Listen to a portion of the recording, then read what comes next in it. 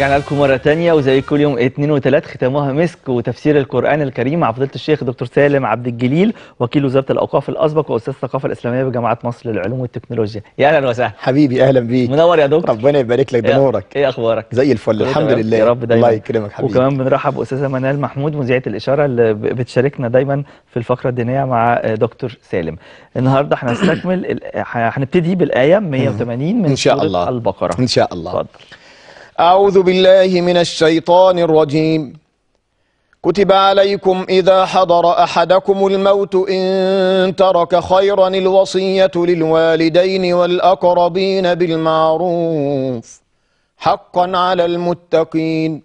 هنقولها تاني كتب عليكم إذا حضر أحدكم الموت إن ترك خيرا الوصية للوالدين والأقربين بالمعروف حقا على المتقين. صدق الله العظيم. كتب عليكم بيستعملها دايما القرآن في الفريضة زي كتب عليكم الصيام. بالمناسبة دي إحنا بعد آيتين ثلاثة وجايز يكون الحلقة دي هنخش في آيات الصيام بقدر ربنا. حلو قوي والحلقة بتاعت بكرة إن شاء الله هتبقى كلها في آيات الصيام. كأن. ربنا عز وجل أراد إن إحنا والأسبوع الجاي برضه قبل رمضان هنتكلم في آيات الصيام؟ جاي كده بترتيب ربنا. آه. بهذا بهذا النسق ربنا يعني يرضى ع- مش علينا. مقصودة مننا ولا حاجة جت بقدر ربنا سبحانه وتعالى. فكتب زي كتب عليكم الصيام كتب عليكم القصاص كتب معناها فرض. طب إيه اللي كتب علينا؟ إذا حضر أحدكم الموت هو مين اللي بيحضر؟ الإنسان بيروح للموت ولا الموت اللي بيجي له الموت بيجيب الموت بيجي له عشان كده تلاحظ إن أحدكم الدال مفتوحة عشان مفعول به مقدم. الموت فاعل مؤخر يعني كأنه بيقول للمؤمنين إذا جاءكم الموت الله طب وهنعرف إما يجي لي الموت هتصرف. في مؤشرات كأن يكون الإنسان مريضا مرضا شديدا ويشعر بأن أجله قد دنا فيبتدي يكتب وصيته. قد يكون قد يكون الإنسان مسافرا فيدرك أن السفر مظنة الهلكة فيكتب وصيته. قد يكون الإنسان داخل في معركة. شاب من شبابنا النهاردة مجند ولا قائد ولا بأي صفة أيا كان رايح معسكره وعارف كويس قوي إن هو بيحارب يعني جبهة للأسف داخلية من الإرهاب أو خارجية أو من غيره فهو خايف وقلقان فيقوم يكتب وصيته. فالمعنى اذا كتب عليكم إذا حضر أحدكم الموت أي إذا شعر وغلب على ظنه إن الموت جاي له ما أصل كلنا بلا استثناء الموت جاي لنا. هو في حد مش جاي له الموت؟ دي الحقيقة الوحيدة اللي إحنا طبعا عارفينها في حياتنا. طبعا طبعا مفيش كلام. إنما في حالات بيبقى الإنسان غالب على ظنه لا الموت جاي. الموت جاي لمرض شديد يئس الأطباء من علاجه. آه، لا قدر الله ربنا يعافينا بعض الأمراض الخطيرة اللي علاجاتها آه، يا إما منعدمة يا إما نادرة. وطبعا كله بتوفيق ربنا. يا إما يكون انسان داخل معركة إنسان مسافر سفر فيه خوف وقلق. فيقوم يقول له اكتب وصيتك. إن ترك خيرا. إذا كان عنده كلمة خيرا هنا مال. عندك مال اكتب وصيه تقول لي الله. وهو أنا النهارده هوصي بمالي ليه؟ هو مش ربنا فرض علينا الميراث؟ أه. يوصيكم الله في أولادكم للذكر مثل حظ الأنثيين إلى آخر سورة النساء. أقول لك هذه الآية وما بعدها وما بعدها في الوصية نزلت قبل أن يفرض الميراث. أه أوكي. قبل ما كان يبقى فيه ميراث فكانت الشريعة الإسلامية بتقول لي يا مسلم مفروض عليك أنك تكتب الوصية. هل ما يزال مفروض علي أن أكتب وصيتي؟ ولا خلاص ما دام فيه ميراث ما عادش فيه حاجة؟ تهيألي الحقيقة كتابه الوصية مش بس عشان الميراث يا شريف. في وصية بتتكتب عشان الميراث وفي وصية بتتكتب عشان الديون والمتعلقات. هب إن أنا أخويا مثلا أعطاني مبلغ من المال وقال ده آه، بيني وبينك مش هعرف أولادي ولا هعرف مراتي ولا أنت تعرف حد وخلي بيني وبينك كده. مش أنا من الأمانة الأمانة عليا تقتضي إن أكتب ورقة وأحطها في شنطتي ولا أحطها في المكان اللي بحفظ فيه الأوراق وأقول أخويا له كذا عندي. مش دي الأمانة؟ طيب. طب افرض أنا بقى اديت المبلغ ده لأخويا مش عايزه. هذا موال تاني. يبقى. هو يقول لي بقى. هو يقول لي والله المبلغ ده يا سلام لك هدية. أقول له متشكرين يا أخويا والكلام ده خلصت أو صديق أو غيره. الإنسان قد يكون داخل في شراكة مع شخص ما ومش عايز يقول مثلا يعني. ف- بس عايز الحقوق تحفظ فيقوم يكتب الوصية لما بعد الإيه؟ لما بعد الموت. لكن ماذا لو ما فيش متعلقات؟ يعني واحد آه، ملهوش لا في تجارة ولا في غيره وماشي مسطور اللي جاي ورايح كله ماشي وخلاص والأمور ماشية وما عندوش لا ديون ولا ليه حقوق عند حد. فالوصية بالنسبة له بقت مندوبة. يعني إيه؟ مندوبة يعني سنة. يعني لو عملها يبقى أحسن. يقول والله أنا ماليش حاجة عند حد. أنا ما فيش حد ليه حاجة عندي عشان يريح أهله. عشان يريح أهله. ما يقعدوش يدوروا ويلفوا وحد يجي بعد كده يقول لهم ده فيه وما فيش. أو على الأقل يوصيهم بالمعروف وبالطاعة. زي سيدنا إبراهيم. الأصل فيها سيدنا إبراهيم. لما خدناها زمان ووصى بها إبراهيم بنيه ويعقوب وصى يعني جمع أبنائه وقال لهم تعالوا هنا أنا بوصيكم بكذا وكذا وكذا. بوصيكم بتقوى ربنا بوصيكم إنكم تبقوا إخوات حلوين. ما تختلفوش على ميراث ما تختلفوش على دنيا ملهاش لازمة كله بيروح. إلى آخره. يعني الوصية برضه ممكن تبقى حاجات معنوية طبعا. طبعا. بس في الآية دي الوصية هنا بالتحديد في الأشياء المادية. المادية. وده معنى قوله إن ترك خيرا أي ترك مالا. طب يعمل إيه؟ يوصي لمين؟ للوالدين والأقربين بالمعروف. طب دلوقتي صار الوالدان وصار الأقربون بدرجات متفاوتة بيرثوا يبقى لا وصية لوارث. ما عادش ينفع أوصي لمين لوارث. يعني- ليه؟ يعني إيه؟ ما خلاص. يعني أنا دلوقتي ما اجيش أقول ابني يبقى ياخد كذا. طب ما ابني هياخد من الميراث زي آه. إخواته. ما ينفعش أقول مراتي تبقى تاخد كذا. طب ما هي مراتي أساسا ربنا ادالها حق في الميراث. يبقى ما فيش وصية لمين. لمن سيرث. لمن سيرث. إنما أقدر أعمل وصية لغير الوارث. أقدر أعمل وصية لمين؟ لغير الوارث. يعني إيه؟ يعني أقدر أقول والله ابن أخويا ولا ابن أختي هو مش هيورث فيا عشان عندي ولاد. أقدر أقول ابن أخويا وابن أختي ياخد كذا. أقدر أقول للغريب ياخد كذا. أقدر أقول بشكل عام جزء من مالي يروح صدقة للفقراء والمساكين. آه يعني أنا دلوقتي لو حد هيورثني؟ ده ما ينفعش. ما توصلوش. ما. اللي هياخده كفاية خلاص. ده نصيب ربنا حطه لو, لو أنا عايز أحط حاجة زيادة ما ينفعش. ممكن تحط الحاجة الزيادة دي لكن عند التنفيذ يشترط إذن الورثة باقي الورثة. لازم يوافقوا؟ أيوه. حتى لو أنا كاتبها حتى لو أنت كاتبها. إحنا بنتكلم على شرع ولا قانون؟ شرع. قانون أنا عايز شرع. آه قانون لو انت كاتب مسجل وكامل الاوراق سليمة هياخد. لا وخلاص. لا أنا عايز شرع. لو بنتكلم في الشرع الأصل الا تصي لوارث الا توصي لوارث. فإن أوصيت لوارث بعد الوفاة نرجع لباقي الورثه يا سادة يا باقي الإخوات يا أب يا أم الراجل ده وصى لابنه بحاجة زيادة. موافقين ولا مش موافقين؟ قال والله موافقين ياخدها. مش موافقين نرجع تاني للأصل. تمام؟ في عندي شرط تاني. إنه لا يجوز الوصية بأكثر من الثلث. بمعنى سيدنا سعد أدرك إنه هيموت وكان تعبان فقال لسيدنا النبي أنا ما عنديش غير بنت واحدة وهي اللي هتورثني. ويبدو إن ما كانش لسه فيه توزيع للميراث قد نزل يعني بشكل كبير أو بشكل واضح. فأنا هوصي بكل مالي. قال له لا. قال له إذا هوصي بالتلتين سيدنا النبي رفض. هيوصي عن الفقراء والمساكين والغلابة وبيت مال المسلمين. قال له لا. قال له إذا بالنصف. قال لا. قال إذا بالثلث يا رسول الله. قال الثلث والثلث كبير أو كثير. العلة إيه؟ قال له لأن تذر ورثتك أغنياء خيرا من أن تذرهم عالة فقراء يتكففون الناس. يعني سيبوا أولادكم مستورين أحسن ما تسيبوهم فقراء غلابة يروح يشحتوا من الناس.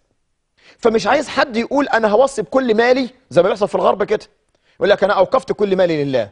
لا يا سيدي عايز توقف مالك؟ أقف منه الثلث. طب معلش لو حد بقى غني جدا آه. يعني برضه التلت. كله هو ولاده شوف، مستورين جدا فهو عايز. يسيب للفقراء حاجات الثلث الوصية تكون في التلت. زادت عن التلت هرجع للقاعدة الأولى الورث بإذن الورث بإذن الورثة آه. يبقى إذن الورثة بحتاجه في في حل في أحد في إحدى حالتين. الحالة الأولى أن تكون الوصية لوارث الحالة الثانية أن تزيد الوصية عن مقدار الثلث. أرجع لباقي الورثة. وإلا ما وافقوش ياخدوا حقهم وياخدوا حظهم. كده عدل. كده بقى قاعدة. عدل. طبعا. وعدل. طبعا. أحسنت. أحسنت. كتب عليكم إذا حضر أحدكم الموت إن ترك خيرا الوصية للوالدين والأقربين بالمعروف. بالمعروف يعني زي ما إحنا اتفقنا كده بالعدل ما تبقاش فيها حيف و و و وظلم إلى آخره. حقا على المتقين. في عندي لفظين في القرآن هيجوا معانا صوت البقرة. في عندي حقا على المتقين وعندي حقا على المحسنين. لما يقول حقا على المتقين بقت واجبة. لما يقول حقا على المحسنين تبقى نافلة. يعني إما تيجي مثلا آية زي اللي معانا حق على المتقين يبقى لازم. وده كان قبل إيه؟ قبل الميراث زي ما اتفقنا. قبل- آه. لما هيقول لي في آيات الطلاق حقا على المحسنين يبقى ده زيادة. زيادة لأنه إحسان فضل. إنما تقوى ده واجب وفرض. طيب. أنا بقى وصيت يا سيدي.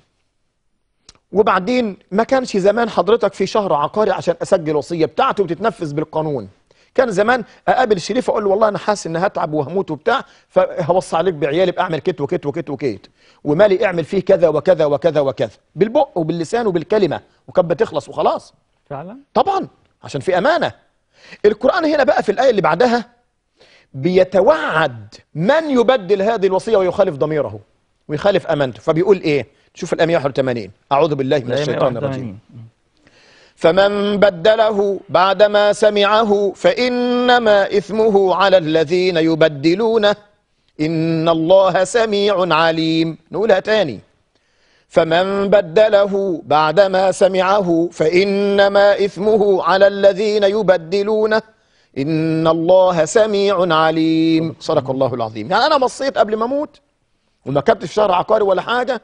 وصيت جاري وصيت أخويا وصيتك أنت. قلت لك والله يبقى أعمل كذا وكذا وكذا. وحددت لك. واللي حددته ده شرعي. ما زادش عن التلت. ما هوش لوارث ولا لغيره. يبقى يجب إنك تنفذها بالإيه؟ بالحرف. بالحرف وزي ما اتفقنا. يعني امبارح بس حد قابلني في المكتب عندي سيدة. فبتقول لعمتها موصية بإن المال يوقف والريع بتاعه يروح للفقراء والمساكين. بس أنا رحت بتقول لي كده بس أنا رحت جمعية ما عندهمش الحتة دي فقالوا لي هاتوه لنا وخلاص وإحنا نصرفه. قلت لها لا. ليه؟ لأنها أمنتك على طريقة معينة الفقراء في الوصية. وتوقف. توقف يعني الأصل يبقى موجود ما نصرفوش. يدن يستثمر في بنك أو غيره والريع هو اللي إيه؟ يطلع. اللي ينفق منه يبقى لازم ننفذ الشرط إلا إذا استحال التنفيذ. ودي معنى كلمة فمن بدله. اللي هيبدل الوصية من عند نفسه من غير سبب شرعي. ما هي ممكن يكون التبديل لسبب إن مش ممكن. ده المبلغ كله 1000 ولا 2000 جنيه. مين اللي هياخدهم وقف عشان يدوا لي 10 جنيه كل شهر ولا بتاع؟ مش هتجيب حاجة. فيبقى هنا التبديل واجب. ما فيش مشكلة. أو وصى بحاجه غلط أو وصى بحاجه حرام. طب ساعتها بقى يبقى هنبدل بقى. بس مين اللي يقول؟ ال- ال- ال- الموصي.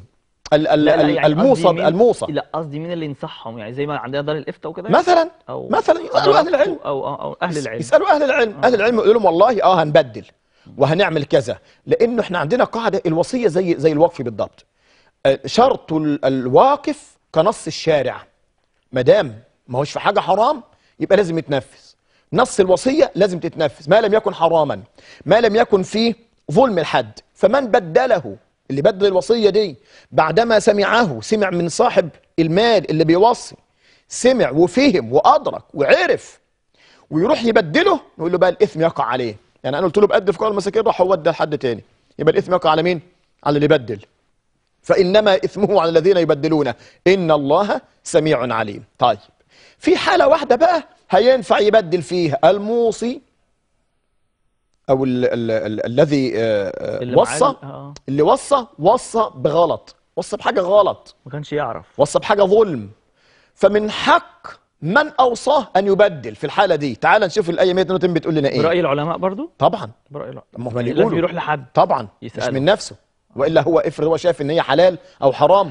والعلماء قالوا لا ما هيش مش مش حرام. فلازم يعرف الأول. الآية 182. نشوف بقى الحاله في 182 فمن خاف من موص جنفا أو اثما فأصلح بينهم فلا إثم عليه. إن الله غفور رحيم. نقولها تاني. فمن خاف من موص جنفا أو اثما فأصلح بينهم فلا إثم عليه. إن الله غفور رحيم. يعني رجل وصى بأن ماله يذهب في حرام. يقوم الراجل اللي, اللي تقبل وتلقى منه الوصية يغير. ليه؟ عشان فيها إثم. لقى فيها ظلم من حقه يغير. لقى فيها حيف جور تعدي. ما فيش فيها مساواة مش فيها عدل. فمن حقه أن يغير. فمن خاف من موص جنفا أو إثما يعني حيف وميل وظلم وجور. أو فيها معصية. رايح يوصي على كباريهات ولا على مش عارف أو حاجة فيها مخدرات. فيها مثلا. ففيها حرام. فمن حقه إيه؟ يغير في هذه الوصية وعبر عنها بلفظ فأصلح يعني أصلح في هذه الوصية وأصلح بين الموصين لهم بالعدل إذا كان هناك ظلم أو حيف. فلا إثم عليه. إن الله غفور رحيم. وهنا تنتهي هذه الآيات الثلاث في قضية الوصية. ونخش بقدر ربنا زي ما قلت لحضرتك على آيات الصيام. عندي استفسار معلش. في حكاية الوصية دي. لو حد كان موصي بحاجة غلط مم. هو عارف إن ده غلط. تمام. آه. وبعد كده بعد ما توفى اللي هم أهله غيروا. غيروا عشان حرام. عشان حرام. مم. هيتعاقب؟ طبعا. مع إنها طبعا. مع إنها ما اتنفذتش. وليكن. لأن هو ما تراجعش عنها في حياته. مم. هو لو تراجع عنها في حياته بقى تاب ورجع. إنما ده لما مات إحنا اللي غيرنا. اللي, اللي أوصاه هو اللي غير. فاللي أوصاه يجب عليه إنه يغير عشان ما يعملش حاجة إثم. ولا يبقى مشارك معاه. لكن من مات خلاص ده هو مات على معصية. إلا أن يعفو الله سبحانه وتعالى والله غفور رحيم. تعال بقى نشوف آيات الصيام وأنا سعيد الحقيقة جدا يعني فرحان بتوفيق ربنا إنها تيجي في التوقيت ده بدون ترتيب مننا. الحمد لله. أعوذ بالله من الشيطان الرجيم. يا أيها الذين آمنوا كتب عليكم الصيام كما كتب على الذين من قبلكم لعلكم تتقون. نقولها تاني. اتفضل. يا أيها الذين آمنوا كتب عليكم الصيام كما كتب على الذين من قبلكم لعلكم تتقون. صدق الله العظيم. أنا عندي هنا ثلاث حاجات. الحاجة الأولى في تعبيره سبحانه وتعالى يا أيها الذين آمنوا كتب عليكم الصيام. يعني فرض خلاص؟ كما كتب على الذين من قبلكم. ما قالش الكلام ده في الصلاة ليه؟ ما قالش الكلام ده في الزكاة ليه؟ اشمعنى الصيام اللي قال فيه كما كتب على الذين من قبلكم؟ ليه؟ آه. صحيح. ما فكرتش فيها أنا دي قبل؟ خلينا بقى نعمل فكرنا شوية فيها. هنلاقي الجواب في منتهى الإعجاز. هل في حد كتب لك على الفيسبوك مثلا أو كتب لينا أو لغيرنا ربنا قاسي إنه فرض عليكم صلاة ولا زكاة؟ ما حصلش. لكن بيكتبوا كتير قوي على موضوع الصيام. وتلاقي في الوقت ده بالذات وبالذات شبابنا اللي عايشين في الغرب بيبعتوا لنا كتير جدا يقول لك ده زمايلنا وأصحابنا غير المسلمين يقول لكم ده ربكم قاسي جدا. إزاي يجب يوجب عليكم إنكم تصوموا في الحر وفي اليوم الطويل وما تاكلوش وما تشربوش؟ ده دي قسوة. فكأن ربي هو من تولى الإجابة بنفسه. كتب عليكم الصيام كما كتب على إيه؟ لأن الديانات الأخرى فيها صيام. طبعا طبعا. كما كتب على الذين من قبلكم فيا شبابنا اللي يقول لكم أنتوا إزاي بتصوموا؟ وربنا بيتعبكم وربنا بيعذبكم. قول لهم إحنا بنصوم زي ما أنتوا كنتوا بتصوموا. لا دي واحدة هو الصيام فيه تعذيب؟ آه أحسنت. سؤال رائع بحييك عليه. للأسف يا شريف فرق بين هذه الكلمة والكلمة الصحيحة حرف واحد استبدل. الأصل في الصيام أنه تهذيب. بالظبط. يبقى إحنا غيرنا العين بالهاء. فالأصل بالصيام إنه إيه؟ تهذيب. تهذيب. لكن للأسف البعض ينظر إلى الصوم على أنه تعذيب بالعين. ليه؟ لأنه مش فاهم فلسفة الصيام والحكمة منه. نهائي. وما حاولش يعيشها ويطبقها. أنا مش هتكلم هنا على صوموا تصحوا وإلا فالبعض زي ما تكف... يعني تكلم كده بعض الصحفيين والكتاب ان ممكن البعض يمرض من الصيام. أنا ما عنديش مشكلة اطلاقا. ومش دي العلة اللي هتخليني أصوم. آه بس انت لو هتمرض من الصوم ربنا اداك طبعا ده تصومش. الرخصة. ده أي حد مريض أو هيتعب من الصوم متشكرين طبعاً. عندك البديل. طبعاً. عندك الرخصة. هو ربنا ده ربنا أرحم الراحمين. طبعاً. سبحانه وتعالى. فمن كان مريضا على سبب فعدة من أيام أخر. مرض مزمن ما تصومش خالص واعمل الفدية. ما عندكش فلوس تعمل فدية ولا كفارة سقطت عنك. مش مطلوب منك حاجة. وبعدين دلوقتي ده الناس بتصوم في شهر رمضان وبيخلصوا الشهر بيبقوا تخنانين الله. المستعان هرجع أقول تاني نحن نصوم طاعة لله. لله. خلاص؟ الطاعة لله دي ربنا قال لي إن هي هتوصلك يا سالم ويا كل صائم صيام صحيح للتقوى. يعني إيه التقوى؟ المراقبة لربنا إحياء الضمير. عارف الضمير الميت ده يا شريف؟ هيحيا في الصيام. هيحيا في رمضان. لو صمنا صح. هيحيا الضمير. وما دام حيا الضمير انتهت بقى إيه هو الصوم الصح؟ الصوم الصح حبيبي اولا أنا بصوم لأني أقيم ركنا من أركان هذا الدين. نمرة اتنين يصوم فمي أي بطني عن شهوة الطعام ويصوم جسدي عن شهوة الفرج. فما فيش لا جماع للزوجة وما فيش طبعا بقى ال- ال- التحرش والنظر الغلط والاستسماع الغلط. الصيام لو خدناه بالمعنى الصحيح ستصوم الأذن عن استماع ما هو منكر لا غيبة ولا نميمة ولا خلافه. الأنف عن شم ما هو محرم. الفم طبعا مش هيتلقى شيء محرم. الجوارح إنها تبطش وإنها تسرق وإنها تنهب والكلام ده كله وإنها تعمل حاجة محرمة. الرجل إنها تمشي لحاجة محرمة مش بس كده.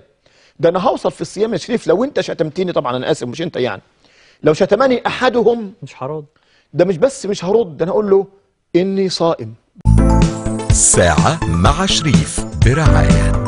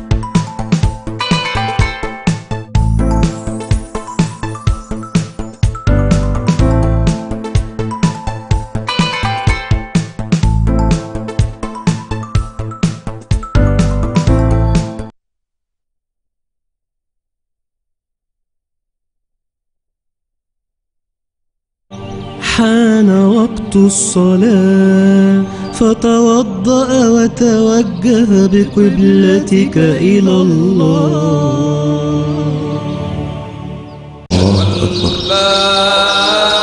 بسم الله.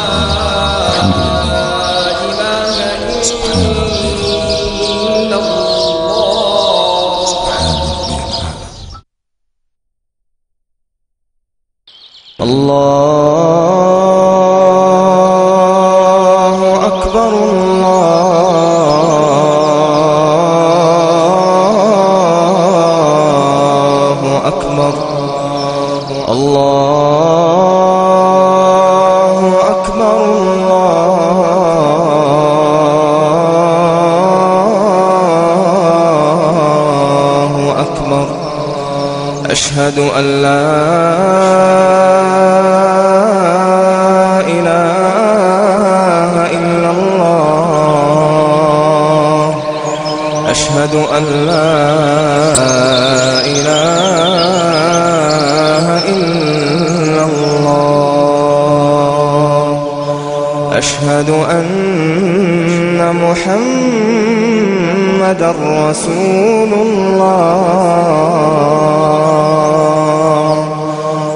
أشهد أن محمد رسول الله. حي على الصلاة.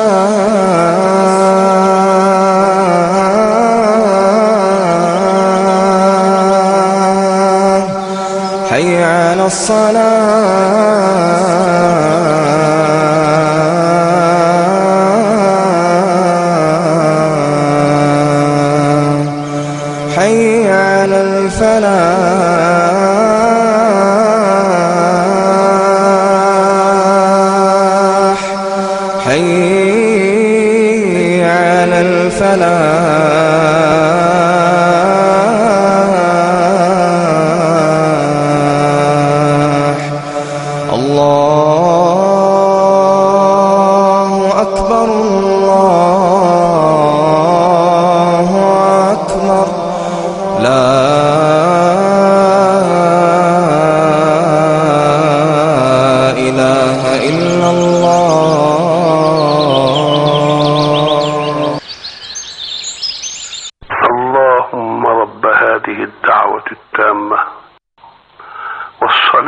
القائمة آت سيدنا محمدا الوسيلة والفضيلة والدرجة الرفيعة.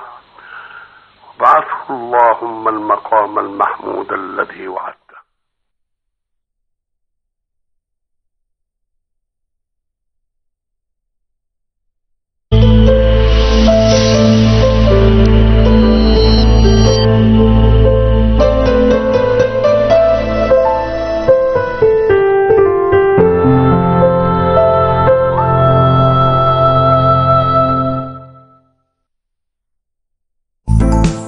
ساعة مع شريف برعاية.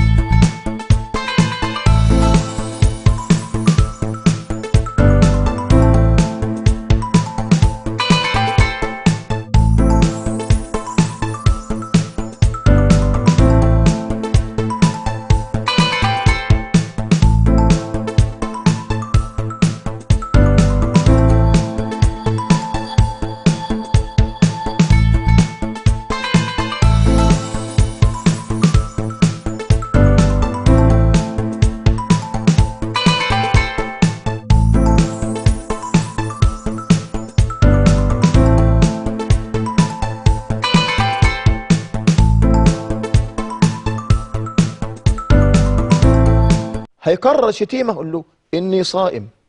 هيمسك في خناقي وإن سابه أحد أو قاتله. هيمسك في خناقي ويرفع السلاح عليا هقول له إني صائم. شوف لهذه الدرجة. شوف التهذيب لحد فين؟ تهذيب ولا تعذيب بقى؟ تهذيب طبعا. تهذيب. إيه اللي خلاه تعذيب؟ هقول لك أنا اللي خلاه تعذيب إيه؟ اللي خلاه تعذيب إن معظم الشباب والجيل اللي صاعد ده هو شاف أبوه وأمه بيصوموا. وقالوا له يا ابني لازم تصوم. فهو مش فاهم هو إيه. ومش فاهم بيصوم ليه. ومش فاهم إيه الموضوع. ولا في باله حتة المراقبه لربنا والتقوى الكلام ده كله. أنا أذكر حد كان قاعد في اليابان 3 4 سنين. ولما رجع بيحكي لي. فبيقول لي وأنا قاعد في اجتماع وعرضوا عليا أشرب والكلام ده كله. لا أنا صايم. ما بيحترموا القيم جدا. في الغرب بيحترموا القيم للغاية. فالمهم أحد زملائه ما كانش عنده دين خالص ياباني. ملوش دين. فبقول له أنا شايفك متعذب قوي. وإحنا عندنا هنا في قاعة الاجتماعات آه، فيها نور عالي وبتاع فربنا هيشوفك لو أنت شربت فعلا. الأوضة اللي جوه دي ادخل وما تولعش النور. نهار ورا الباب ما هو ده فكره ده ثقافة الملحد. ورا الباب على اليمين هتلاقي تلاجة. افتحها وهتلاقي المية الساعة اشرب وتعالى ما حدش هيشوفك. ليه؟ هو ده ده ثقافته ده ملحد ده ثقافته. الراجل المسلم قال له إيه؟ قال له نحن نؤمن بإله يرانا في الظلمة كما يرانا في النور. يرانا في الخفاء كما يرانا في ده بيرى اللي. جوانا أصلا مش اللي. برانا. ما هو مش هيدرك ده قوي. فبيقول له على المعنوي. بيقول لي أنا قلت له ده. كان رده إيه؟ آه، ما حكاليش حقيقة بس أنا بتكلم على موقف المسلم. فالمسلم يفهم ده يدرك المعنى ده. تخيل حبيبي أنا النهارده ما بشربش وأنا قاعد في البيت لوحدي ولا في مكتبي لوحدي والتلاجة فيها المية الساقعة. ما بشربش خوفا من الله. طب إزاي أنا مش هشرب خوفا من الله وهسمح لنفسي ان أكذب ومش هخاف من ربنا. يبقى ال- الوازع اللي هيمنعني من الشرب هيمنعني من كده هيمنعني من الكذب. الوازه اللي يمنعني من تناول الطعام هيمنعني من النظرة المحرمة. الوازه الوازع اللي هيمنعني من آه، إن أجامع زوجتي في نهار رمضان وهي حلال ليا في العموم بس في رمضان الو- في النهار إن أروح أزني. مش كده؟ يبقى ده الصيام الحقيقي. ولذلك ساعتها نقول رمضان ده دورة تدريبية بنخشها مرة في السنة زي كل عامل في الدول الراقية لما كده ياخد دورة شهر تدريبية أو أقل أو أكتر عشان لازم. يرتقي ب... يرجع يرتقي بمستواه. فتحس إن هو بعد الدورة مختلف إدارة فنيا إذا كان فني إلى آخره. فيفترض فينا كمسلمين بندخل رمضان يا حبيبي علشان نخش دورة نهذب فيها السلوك والأخلاق. نزكي فيها النفس والروح. جايز نقعد بعدها شهرين ثلاثة كويسين. لا مش شهرين ثلاثة ده أنت مطلوب لرمضان الثاني. ما أنا عارف. أنت لو دخلت الدورة صح هتسلمك للدورة هيبقى- الثانية. هيبقى ده زي ما نقول كده يعني ال style of life بتاعه يعني. أسلوب حياته. طبعاً. هيبقى مهذب على طول. شوف إحنا ده العبادات. العبادات ربنا كاتبها لنا بنسق معجز. في عندي عبادة عملها عمري. عمري يعني إيه؟ يعني ما بنحتاجهاش أكتر مرة واحدة. حضرتك بتجيب السيارة جديدة بعد 10 12 سنة بتحتاج عمرة. ما بتعملش العمرة الثانية بقى خلاص. الحج كده. حج آه. الحج عمر للنفس والروح بيطلع بيها الإنسان مش بس كما ورثه أمه إن صحيفته بيضة مفيش فيها ذنوب لأ. ده كأن اعضاؤه جوارحه آه، آه، ضميره إنسانيته رجعت كأنها على الفطرة. صحيح. مش ملوثة بأي شيء. فبيرجع تاني كل حاجة عنده قوية. سلوكا اخلاقا عقيدة ايمانا إلى آخره. دي عمرية بنسميه مش محتاج فيها أكتر من كده. اللي يقدر يزود يزود لكن هي مرة في العمر كفاية قوي. الصيام مرة كل سنة. أنت محتاج الدورة دي مرة كل سنة تنقي فيها أخلاقك سلوكك تعود نفسك فيها على المراقبة ترجع فيها مرة تانية لقراءة القرآن إلى آخره. مش معناه إن دخلت الدورة دي اشتغلت فيها بجهد عشان بعد كده أرجع تاني لما كنت عليه من قبل؟ لا ده عشان أنشط واجتهد. عندي بقى الدورة اللي بدخلها مش دورة بقى ده ده ال- اللي بنسميه إحنا إيه يعني؟ المطعم المفتوح لي بقى أوبن بوفيه على طول. أدخله كل يوم خمس مرات. خمس مرات الصلاة. فالجسد محتاج ده والروح محتاجة دي. يوم ما هنأثر في الكلام ده أو ما نفهمش الكلام ده وتبقى الصلاة أداء للحركات بدون وعي ويبقى الصيام مجرد. هي أديني صمت أهو ما حدش يكلمني بقى. ونيجي عند الظهر ولا العصر معلش. سامحوه أصله متخلق عشان أصل الصيام بقى وبتاع. لا. لا وألف لا. ده أنا لا هتخلق في صيام ولا غيره بالعكس ده أنا النهاردة متخلق في الصيام مش هتخلق. ده أنا النهارده مقصر في الصيام مش هقصر. عشان اطلع من الصيام بعد كده. مهذب النفس مهذب الاخلاق وده معنى لعلكم تتقون. فلازم افهم ده كويس قوي. طيب. نمرة ثلاثة أو أربعة بقى في هذا الموضوع. لما يقول لي كتب عليكم الصيام كما كتب على الذين من قبلكم. أنا لا أدري من كان قبلنا كم يصوم وكيف يصوم وعن أي شيء يصوم. مش بتاعتي. لكن بيصوموا خلاص. لكن اليقين عندي أنه كان يصوم. فما يجي حد وده بعيدها تاني وبكررها. يا شبابنا لما حد يقول لكم ده ربكم مش رحيم أصل كتب عليكم الصيام قول لهم أنتوا كمان كتب عليكم الصيام. الدين قيود. الدين التزامات. يا تقبل الدين بالتزامات وتقول سمعت وأطعت. وإذا قصرت غصب عنك يا رب سامحني. يا إما تقول أنا مش متدين ده حاجة تانية بقى. بس القيود والالتزامات دي في مصلحة ال... طبعاً. الروح والنفس يعني. العاقل يقول ده يا شريف. العاقل.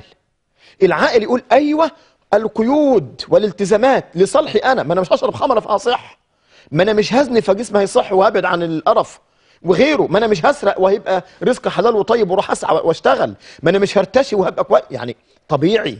كل المحرمات وكل الأوامر هي لصالح الإنسان. من أدرك هذا يفهمه. نمرة اتنين. الصيام معناه الإمساك أصلا. يعني صام يعني امسك اصطلاحا أنا بأمسك عن شهوتي البطن والفرج من أذان الفجر إلى أذان غروب المغرب. الشمس وأذان المغرب. ده ده الوقت الطبيعي بالنسبة لي. هتقابلنا مشكلة مع إخواننا في الغرب. وكويس إن إحنا بنقول الكلام ده من بدري عشان لو بيتابعونا. آه عشان المغرب بيبدأ متأخر آه عندك بعض البلدان بيوصل عدد الساعات فيها ل 20 ساعة. صحيح. وربما أكثر. طب دول يعملوا إيه؟ دول قدامهم عدة احتمالات. آه قول لي بقى.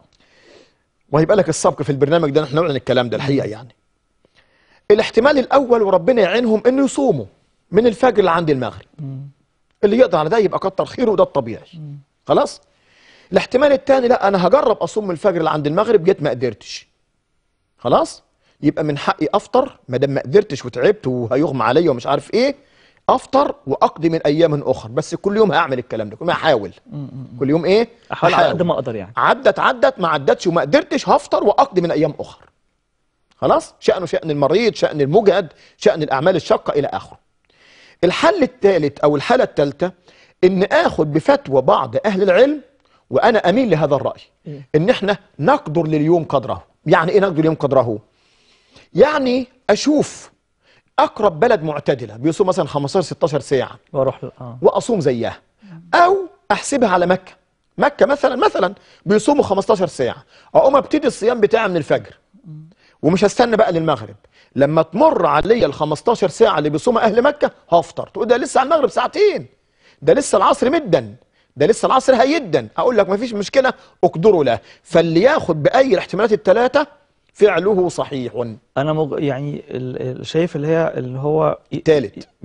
اللي هو يشوف لا اللي هو يشوف مكة. آه ما هي التالت. هي التالت آه. آه, بقى أنا أنا في الحقيقة أصحابي اللي عايشين بره بيصوموا. ربنا يعينهم. لانهم بقى بي- بيعملوا إيه؟ مم. هناك بيخلصوا الشغل بدري. مم. يعني بيصحوا بدري جدا وبيروحوا الشغل وبيخلصوا بيبقوا في ال... بي... 3 ونص. فربنا بيعينهم وتمشي. فبيروحوا بيناموا. آه في مفيش. مشكلة. يعني بينام. ربنا يعينه بيقعد في السيفه بينام من كتر التعب آه. أو ويصحى على المغرب. أنا ما بخاطبش ده أنا بخاطبش ده ما بخاطبش لحد. لا بس تنفع إن هو ينام؟ طبعا. آه. طبعا. أنا بخاطبش حد خلاص عاقل وفاهم وبيحاول وربنا بيقدره وبيعينه. أنا بخاطب ابني وكل الشباب اللي في سن أولادي اللي بقول لهم لو أنتوا في هذه الأماكن شباب صغيرين وربما تحت العشرين بس مبلغين مكلفين آه، آه. وبروحوا مدارس. ولا بينزلوا مع أصحابهم في في في جامعات ولا خلافه في في يعني سمر أو خلافه. فاللي زي دول الموضوع بالنسبة لهم صعب جدا.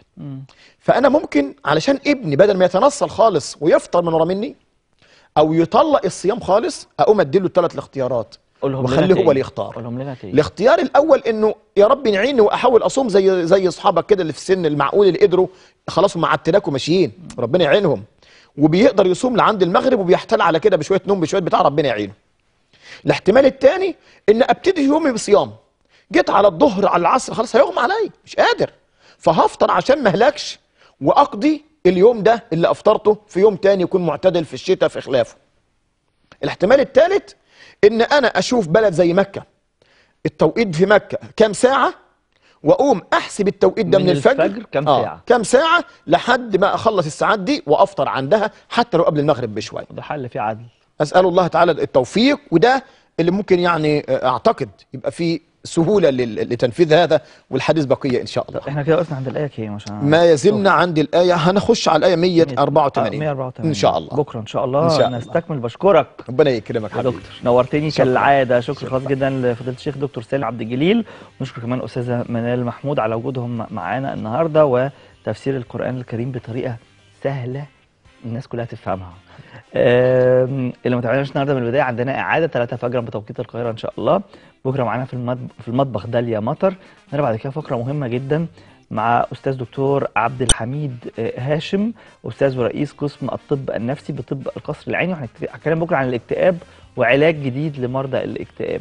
وبعد كده ختموها مسك مع فضيلة الشيخ دكتور سالم عبد الجليل وتفسير القرآن الكريم. يا رب النهارده لبكره مصر بلدنا تبقى في أحسن حال ونشوف مصر أم الدنيا وقد الدنيا. شكرا ليكم والسلام عليكم. عليكم السلام.